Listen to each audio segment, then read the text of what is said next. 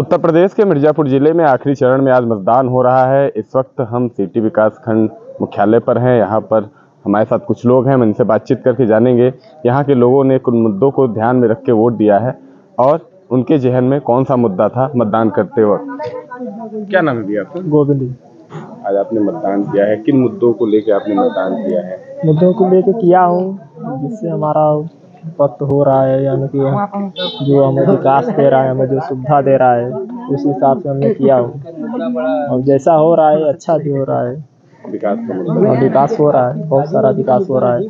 पहले से विकास हुआ है। हम्म, पहले से हुआ है अभी हो रहा है ऐसा बात नहीं। हमारे साथ और भी लोग हैं बातचीत करेंगे। क्या नाम है? सच्चिदानंद। क्या लग रहा है कि मुद्दों को ध्यान में रख के आपने वोट दिया है? विकास भैया सिर्फ़ विकास। विकास इतना अच्छा हुआ है बहुत हुआ है। दस साल में बहुत विकास हुआ है। क्या विकास हुआ है? दस साल में? जैसे रोड हो गया लाइट हो गया पानी हो गया चौबीस घंटे लाइन आ रही है पानी भी आ रही है। पानी फ्री लगा है सगरो नल योजना के तहत यही सब मुद्दा था। विकास का मुद्दा। हमारे साथ चाचा है। क्या नाम है नहीं नहीं ठीक है सच्चा नाम है। भैया का ध्यान में रहा चाचा? वोट नहीं। देश पहले। ध्यान में सब कुछ बा भैया व्यवस्था। व्यवस्था उनके व्यवस्था में सब कुछ व्यवस्था सही बा है। मतलब व्यवस्था अरे रोड भी बा लाइट भी बा पानी की व्यवस्था भी सही बा। हाँ? अब इतना व्यवस्था बहुत कुछ मिल जाता है उनकी व्यवस्था में। राशन पिटाई गल्ला पटाई भी मिल जाता है सब व्यवस्था हैं। हमारे साथ भैया हैं क्या नाम है भैया? जी संतोष कुमार विश्वकर्मा। क्या लग रहा है कौन सा मुद्दा जहन में रहा? देखिए मुद्दा के बात नहीं कर रहे हम अपने इलाके की बात कर रहे हैं ना तो हमारे पास लाइन है ना नाली है और न तो व्यवस्था हमारे पास नहीं है।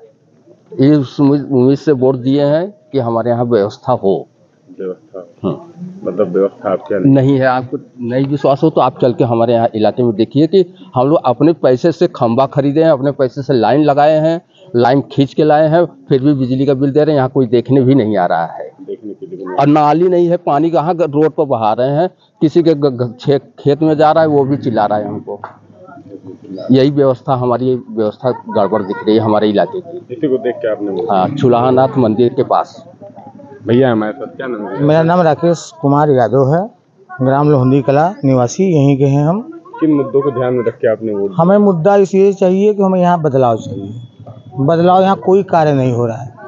पानी लेकर हम के खाएँ, खाएँगे क्या? कमाने के लिए कोई बेरोजगार क्या कौन सा धंधा रखे हैं यहाँ पे? क्या करेंगे? मट्टी खोदे? मट्टी बेचें? ईटा पत्थर बेचें? क्या बेचें? यहाँ क्या रखा हुआ है? बताइए। क्या रखा हुआ है? यहाँ पे कोई कंपनी न वगैरह कुछ नहीं है। कुछ तो रखना चाहिए। कोई कंपनियाँ खुलवा दें कोई वगैरह खुलवा दे कि यहाँ आठ दस मजदूर करें तो वहाँ सौ मजदूर काम करें वहाँ पे। काम करे तो उसका अगर दस मजदूर का पेड़ चलेगा तो वहाँ पे सौ मजदूर घर चलेगा। मतलब रोज़गार। रोज़गार चाहिए हम लोग को था जो पढ़ने लिखने वाले विद्यार्थी हैं उन लोग को नौकरियाँ जो शिक्षित हैं उन लोग को जो आज पढ़ के एम ए बी ए भी काम करके बैठे हुए हैं वो क्या कर रहे हैं? आठ हज़ार की बढ़िया की नौकरी कर रहे हैं आठ से दस घंटे बारह घंटे की नौकरी कर रहे हैं। वो भी इतना मेहनत करके कर रहे हैं वो उनका आत्मा ही जान रहा है। रोज़गार नहीं मिल रहा। नहीं मिल रहा है। ठीक है हमारे साथ भैया हैं। क्या नाम है भैया आपका? ब्रिजेश श्रीवास्तव भैया। क्या क्या जहन में रहा? कौन सा मुद्दा आपने वोट दिया है? देखिए हम विकास को और राष्ट्र को ध्यान में रख के वोट किए हैं। और यहाँ पे हमारे ज़िले मिर जिला मिर्ज़ापुर में पिछले दस वर्षों में योगी मोदी जी की सरकार में भरपूर विकास हुआ है, चाहे वो नाली हो, खड़ंजा मतलब नाली की व्यवस्था, पानी की व्यवस्था, सड़क की व्यवस्था, बिजली की व्यवस्था, जो हम यहाँ दस साल पहले धूल फाँकते थे, यहाँ से बथुआ मार्केट जाने के लिए, अगर नहा के निकलते थे, कपड़ा साफ़ पहन के निकलते थे तो मार्केट में जहाँ हमें जाना होता था, उनके यहाँ पहुँचते थे तो धूल के गुब्बार शरीर पर रहते थे, पाउडर की तरह। तो ये लगता था कि यार कब ये दिन बदलेगा। और जब हमारे यहाँ योगी जी की सरकार बनी, उसके बाद से जो सड़कें बनी, वो आज पूरा देश, पूरा जिला मेरा देख रहा है। मेरे यहाँ, हमारे यहाँ फोर लेन सड़क आ गई, देवरी कला में विश्वविद्यालय खुल गया, हमारे यहाँ मेडिकल कॉलेज आ गया। सबसे बड़ी चीज़, बहुत सारी ट्रेनें जो मिर्ज़ापुर में रुकती नहीं थी, वो सारी ट्रेनें बहुत सी ट्रेनें मिर्ज़ापुर में रुकने लगी। तो बहुत सारे काम हुए हैं। काम ये कह सकते हैं कि इसके पहले जो भी सांसद रहे मिर्ज़ापुर में, उन्होंने मिर्ज़ापुर का सिर्फ़ शोषण किया है। और ये योगी जी की देन है कि जो भी उनकी इस समय वर्तमान शासन सत्ता चला रहे हैं जिस तरह उनके अं- अधीन उनके नेता काम कर रहे हैं उससे विकास दिख रहा है। विकास दिख रहा है हमारे साथ भैया हैं क्या नाम है? आपका? हमारा मेन नाम है अमरनाथ बिंद। क्या मुद्दा रहा ध्यान में वोट से पहले? मुद्दा यह रहा सर कि पहले बारह सौ सिलेंडर था अब नौ सौ को ही है।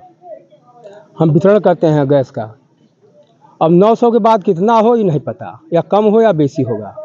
ये नहीं पता। इसके पहले? महँगाई महँगाई। अब क्या बताएँ एक हमें आँख की लड़ाई मार गई दूसरी हमें यार की जुदाई मार गई चौथी ये खुदा की खुदाई मार गई बाकी कुछ बचा तो महँगाई मार गई। चाचा जी ने गजब की एक शायरी कही हमारे साथ भैया हैं। क्या नाम है भैया आपका? किशन कुमार अग्रवाल कौन सा मुद्दा ध्यान में रख के आपने वोट दिया? विकास को देखकर। विकास हो रहा है। विकास हुआ है हमारे ज़िले में मिर्ज़ापुर में। लगातार विकास हो रहा है। तमाम सड़कें बिजली पानी सब कुछ इस समय तो फ़िलहाल अच्छा है। मतलब हम वर्तमान सरकार से संतुष्ट हैं। संतुष्ट हैं। भैया हमारे साथ क्या नाम क्या किन मुद्दों को ध्यान में रख के आपने वोट दिया है? सर इस मुद्दों को ध्यान में रखते हुए हम मतदान किए हैं कि विकास हो हो रहा है सर और आगे होता ही रहेगा। जी सर। पहले से विकास? पहले से बहुत ज़्यादा चाचा जी क्या नाम है? चंदन। कौन सा मुद्दा ध्यान में रख के आपने वोट दिया है? आज मुद्दा तो सब अच्छा चल रहा है विकास हो रहा है। पहले जो और से जाते थे बनारस ढाई दो तीन घंटे लगते हैं अब खाली पंद्रह मिनट मिर्जापुर से और लगते रोड के मामले में भी हुआ है बिजली के मामले में हुआ है। बाकी बाकी विकास विकास हो रहा है होगा। विकास हो रहा है होगा। तो हमारे साथ बातचीत करने के लिए यहाँ पे काफ़ी लोग थे बातचीत करके उनसे जानने का प्रयास किया गया कि किन मुद्दों को ध्यान में रख के उन्होंने वोट दिया है। ज़्यादातर लोगों का कहना था विकास का मुद्दा प्राथमिकता में है। इसके अलावा कुछ लोगों ने कहा कि महँगाई और बेरोजगारी भी एक अहम मुद्दा है, जिनको उन्होंने ध्यान में रख के मतदान किया है। मिर्जापुर से कैमरा पर्सन प्रमोद तिवारी के साथ मुकेश पांडे की रिपोर्ट।